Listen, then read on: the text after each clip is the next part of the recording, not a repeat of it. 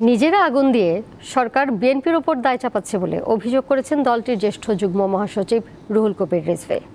রবিবার দুপুরে নির্বাচন কমিশনে বিএনপির আয় ব্যয়ের হিসাব জমা দিয়ে এই অভিযোগ করেন তিনি। রিজভি বলেন, জনগণের ভোটে নির্বাচিত না হওয়ায় সরকারের কোনো জবাবদিহিতা নেই। তিনি বলেন, শনিবার শান্তিপূর্ণ কর্মসূচিতে বাধা দিয়েছে পুলিশ। বাসে আগুন দেওয়া প্রসঙ্গে রিজভি বলেন, বিএনপি নেতাকর্মীরা নয়, বরং বাইরে থেকে মোটরসাইকেলে এসে আগুন দেওয়া হয়েছে।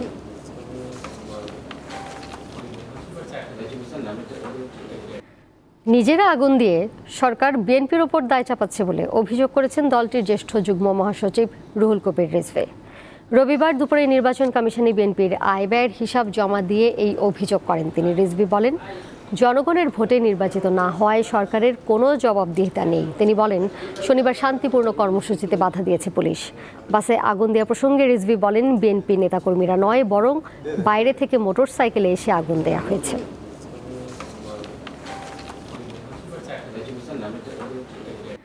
নিজেরা আগুন দিয়ে সরকার বিএনপির ওপর দায় চাপাচ্ছে বলে অভিযোগ করেছেন দলটির জ্যেষ্ঠ যুগ্ম মহাসচিব রুহুল কবির রিজভে। রবিবার দুপুরে নির্বাচন কমিশনে বিএনপির আয় ব্যয়ের হিসাব জমা দিয়ে এই অভিযোগ করেন তিনি। রিজভি বলেন, জনগণের ভোটে নির্বাচিত না হওয়ায় সরকারের কোনো জবাবদিহিতা নেই। তিনি বলেন, শনিবার শান্তিপূর্ণ কর্মসূচিতে বাধা দিয়েছে পুলিশ। বাসে আগুন দেওয়া প্রসঙ্গে রিজভি বলেন, বিএনপি নেতাকর্মীরা নয়, বরং বাইরে থেকে মোটরসাইকেলে এসে আগুন দেওয়া হয়েছে।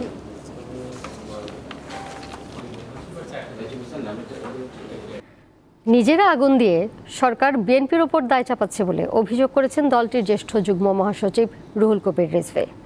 রবিবার দুপুরে নির্বাচন কমিশনে বিএনপির আয় ব্যয়ের হিসাব জমা দিয়ে এই অভিযোগ করেন তিনি। রিজভি বলেন, জনগণের ভোটে নির্বাচিত না হওয়ায় সরকারের কোনো জবাবদিহিতা নেই। তিনি বলেন, শনিবার শান্তিপূর্ণ কর্মসূচিতে বাধা দিয়েছে পুলিশ।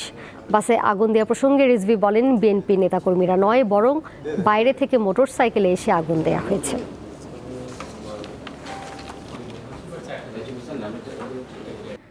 নিজেরা আগুন দিয়ে সরকার বিএনপির ওপর দায় চাপাচ্ছে বলে অভিযোগ করেছেন দলটির জ্যেষ্ঠ যুগ্ম মহাসচিব রুহুল কবির রিজভে। রবিবার দুপুরে নির্বাচন কমিশনে বিএনপির আয় ব্যয়ের হিসাব জমা দিয়ে এই অভিযোগ করেন তিনি। রিজভি বলেন, জনগণের ভোটে নির্বাচিত না হওয়ায় সরকারের কোনো জবাবদিহিতা নেই। তিনি বলেন, শনিবার শান্তিপূর্ণ কর্মসূচিতে বাধা দিয়েছে পুলিশ।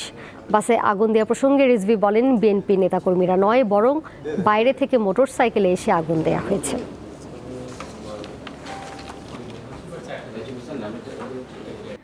নিজেরা আগুন দিয়ে সরকার বিএনপির ওপর দায় চাপাচ্ছে বলে অভিযোগ করেছেন দলটির জ্যেষ্ঠ যুগ্ম মহাসচিব রুহুল কবির রিজভে। রবিবার দুপুরে নির্বাচন কমিশনে বিএনপির আয় ব্যয়ের হিসাব জমা দিয়ে এই অভিযোগ করেন তিনি। রিজভি বলেন, জনগণের ভোটে নির্বাচিত না হওয়ায় সরকারের কোনো জবাবদিহিতা নেই। তিনি বলেন, শনিবার শান্তিপূর্ণ কর্মসূচিতে বাধা দিয়েছে পুলিশ। বাসে আগুন দেওয়া প্রসঙ্গে রিজভি বলেন, বিএনপি নেতাকর্মীরা নয়, বরং বাইরে থেকে মোটরসাইকেলে এসে আগুন দেওয়া হয়েছে।